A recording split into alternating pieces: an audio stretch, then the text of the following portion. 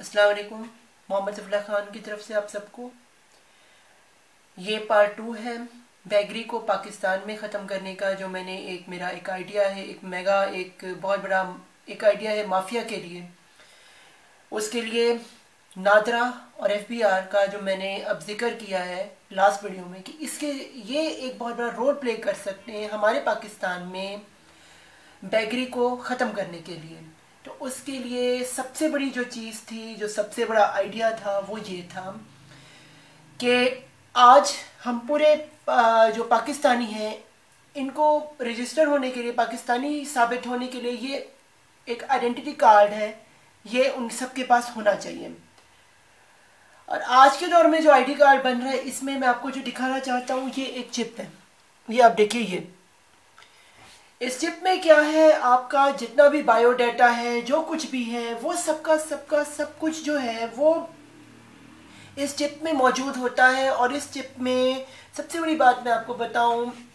जब आप किसी बैंक में जाते हैं, अपना कहीं प्रॉपर्टी खरीदते हैं तो आपको यकीनन सी की ज़रूरत होती है अपना अकाउंट खुलवाने के लिए, अपना सब कुछ करने के लिए। और जब वो अकाउंट खुलता है उसमें सी में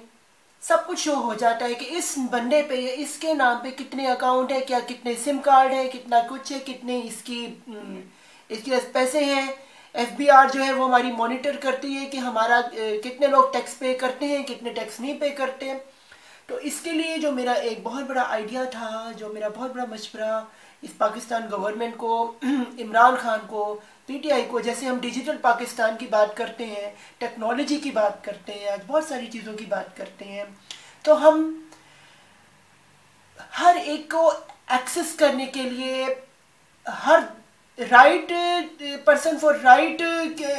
उसको जो है सकात देने के लिए, हमारे पास जो जो उसको चैरिटी देने के लिए जो बेहतरीन जो ये एक चीज़ है, वो है ये C R I C identity card हर बंदे के पास। जिस बंदे के पास ये सी एन आई सी मौजूद है, उसके बारे में आसानी से मालूम किया जा सकता है कि वो गरीब है कि अमीर है, उसके बैंक अकाउंट में कितने पैसे, कितने नहीं हैं। अगर हम जितने भी पाकिस्तान में बंदे हैं, जो बन अक्सर देखा गया कि जो बैगर्स हैं और जो ये लोग हैं, इनका इन्होंने जान के सी एन आई सी इनके पास नहीं होते।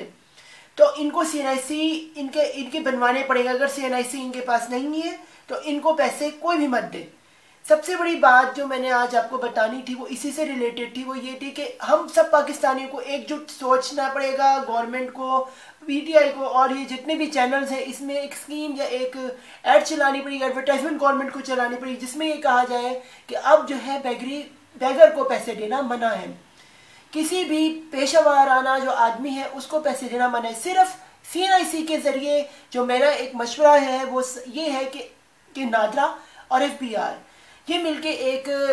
एक जॉइंट एक एक सेशन करें और उसमें क्या करें, एक नई ऐप लॉन्च करें। वो ऐप क्या करेगी, वो हमारे जितने भी, पूरे पाकिस्तान में जितने भी लोग हैं, उनके अकाउंट्स और उनके सी की मदद से उनके बारे में सब कुछ जो है मालूम किया जा सकता है कि इस अकाउंट में, इस बंदे के पास ये अमीर है या गरीब है। जैसे हम एक थ्रेश एक हम लिमिट सेट कर लेते हैं, एक लाख रुपए। फॉर एग्ज़ाम्पल कि एक आदमी के पास एक आदमी के पास एक लाख से ऊपर एक लाख से ऊपर जितने भी पैसे हैं वो सारे उस उस ब्रैकेट में गुर्बत से नीचे की ब्रैकेट में पाकिस्तान में नहीं आएँगे। उससे नीचे एक लाख से नीचे जितने भी पाकिस्तान में लोग हैं जिनके अकाउंट में ए, या उनको ज्वाइन करके एक लाख जितने भी उनके पास एक अकाउंट या उससे ज़्यादा मिलके अगर एक लाख से ऊपर के अमाउंट बनती है तो ऐसे लोगों को आप जो है गरीब कंसीडर नहीं करेंगे। उन लोगों को आप जो है अपनी सरकार के पैसे या उनके लिए आप कोई भी जो है आप अपनी चैरिटी वर्क देना चाहते, कोई भी पैसे देना देना चाहते, आप उसको नहीं अदा करेंगे। सिर्फ़ वो लोग जो एक लाख या और उनकी तनख्वाह बीस हज़ार रुपये से कम है फिक्स अमाउंट यानी जो गरीब लोग जिनकी तनख्वाह जो है महीने की बीस हज़ार रुपये से कम है, ये लोग जो है गरीब कैटेगरी में दाखिल होते, इन लोगों को जब भी किसी के दिल में आए, जब भी किसी के उसमें आए कि उन्होंने कोई फ़कीर को, गरीब को पैसे देने हैं तो वो उस ऐप के ज़रिए सी एन आई सी में चुन के वो जो ब्रैकेट हमने लगा दी है उन लोगों के दरमियान जो अमीर है और जो गरीब है डिस्टिंग्विश कर दी है तो वो उस गरीब के अकाउंट में उनको पैसे वो डायरेक्ट मोबाइल से भेज सकते हैं। जैसे आप जानते हैं आज प्लास्टिक मनी का दौर है, अब सब कुछ है ऑनलाइन सिस्टम है तो ऑनलाइन जिस पैसे का अगर किसी का दस रुपये पैसे रुपए देने का दिल चाह, पाँच रुपये देने का चाह, बीस रुपये देने का चाह रहे सौ हज़ार जितने भी वो देना चाहते हैं, अपने दिल से देना चाहते हैं, उसको किसी के भीख में या उससे किसी ड्रामे को देख के उसे देखना नहीं पड़ेगा, उसे इसे वो उसे नादरा के, और ये जो भी ये जो ये एफ़ बी आर मिल के जो भी ऐप बनाए, उस ऐप के ज़रिए हमें अपने उन लोगों तक ये जो है वो जायज़ पैसे पहुँचाने जो वाकई से फैट पोष लोग और जो गरीब हैं, जो किसी से भीख नहीं मांगते, यही और ये क्या हो सकते, यही यही स्टेटिस्टिक्स पॉपुलेशन के ज़रिए हमारी जो एफ़ और जो है ये नादरा जो है, ये इस जॉइंट इस, जो ये प्लान है, इसको जो है ये बहुत मनकट मन अंजाम तक पहुँचा सकती है और हमारे मुल्क से पावर्टी गुर्बत जो है वो ख़त्म इस तरह हो सकती है कि जिस इंसान को पैसे देने हैं वही वो पैसे का हकदार होगा। जिस इंसान को पैसे नहीं देने, वो उसका हकदार कभी नहीं होगा। और इस वजह से, और पुलिस को जितने भी लोग हैं, उनके लिए मेरा यही पैगाम है जहाँ भी वो देखें कि ये आदमी भीख मांग रहा है, उसको सीधा जेल में ले जाए। वो भीख मांग ही नहीं सकता। उसके अगर वो, अगर अगर अगर वो भिकारी भीख तो उसके पास ऐप में मौजूद है। उस गवर्नमेंट जो है, वो उसकी, अगर तो वो भिकारी वाकई, और उसके अकाउंट में पैसे नहीं, और वो वाकई गरीब है तो उसके अकाउंट के अकाउंट में खुद ही पैसे आ जाएँगे गवर्नमेंट की तरफ़ से, जो हम ये मोबाइल ऐप को लॉन्च करेंगे, जिस ऐप में ये नादरा और एफबीआर जो है, ये इसको जो है बहुत अच्छी तरह से देखें और जिससे हम पाकिस्तान को, डिजिटल पाकिस्तान को बैगरी फ्री पाकिस्तान बना सकते माफिया फ्री पाकिस्तान बना सकते हैं। जहाँ कहीं भी आपको बैगर्स भीख मांगते हुए ना गलियों में, ना सड़कों पे, ना बाज़ारों में, ना किसी फुटपाथ पे, ना कहीं भी किसी भी हस्पताल के करीब, किसी मस्जिद के पास, किसी भी जगह पे आपको दर्शगाह के पास कहीं भी आपको नज़र नहीं आएँगे। सिर्फ़ आपको पुरस्कून पुर अमन आपको एक पाकिस्तान मिलेगा, वो जैसे आप यूरोप की कंट्रीज़ में ज़्यादातर देखते हैं मुख्तु जगह पर रहेगी कि आपको जहाँ पे बैगर्स नज़र नहीं आते। तो हमें अपने मुल्क को बैगरी फ्री बनाना है और इसमें एक और चीज़ भी है कि इसी ऐप में जो शहीद हमारे यहाँ लोग हो जाते हैं जब मुख्तलिफ़ कैटेगरी के जो लोग हैं, उनके बच्चे जो जो यतीम लोग हैं, जो बच्चे उन सब की कैटेगरी को हम इसमें रखें, जैसे